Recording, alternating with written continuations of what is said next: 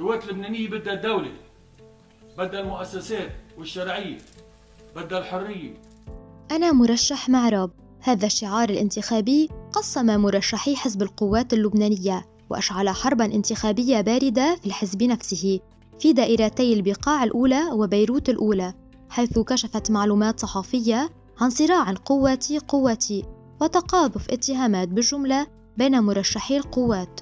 فما صحة هذه المعلومات؟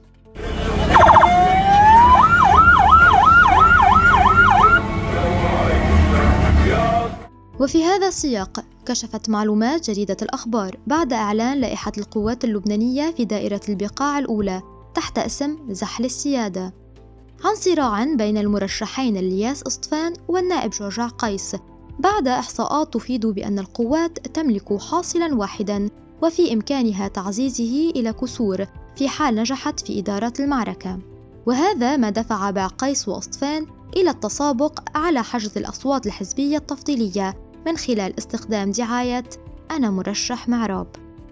في بعض الناس عم بيسوقوا بهالأيام على أنه إيه شو رح يتغير بهالانتخابات؟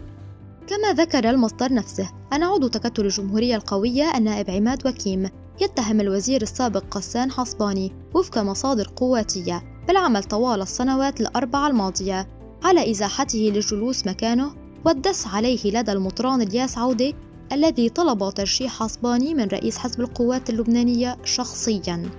علماً بأن لا منافسة جدية له على المقعد الأرثوذكسي في اللوائح الأخرى. حيث أكدت مصادر أن ترشيح حصباني قد قسم قواتي الأشرفية إلى فئتين متخاصمتين. إحداهما تناصر النائب عماد وكيم اتخذت من خيمة نصبت في موقف للسيارات مركزا لها. وأخرى تناصر حاصباني تتخذ من أحد مقاهي المنطقة مقرا لها. هي حقوق المسيحيين بالنسبة لهم. بالوقت اللي التعن سما دين رب اللي خلف المسيحيين. عيم العماد هون. وفي سياق التحالفات الانتخابية هدد خلاف الاشتراقي القوات والأحرار بفرض التحالف الانتخابي بينهم في الجبل. ما استدعى تدخلا سعوديا أعاد حلفاء الرياض إلى الانتظام. وبحسب جريدة الأخبار السعودية تدخلت أمس وأبلغت حلفائها بأن سفيرها وليد البخاري سيعود إلى بيروت في اليومين المقبلين. لشدشدة التحالفات في كافة الدوائر وطلبت منهم العودة إلى طاولة المفاوضات لأنها لن تقبل بانفراط عقد التحالف.